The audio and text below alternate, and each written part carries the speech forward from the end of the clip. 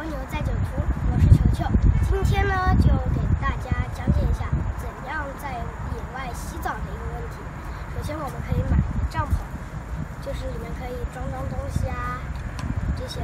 然后我们又弄了一个车载的这个这里有一个水泵还有一个插头可以接在车上的接过去，看，摁响开关这里。我给它起名叫肥兔。助手帮我接一下。我是谁是助手啊？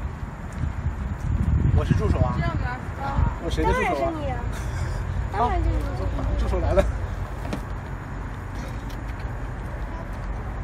好，插上了，老板。然后再把这个打开。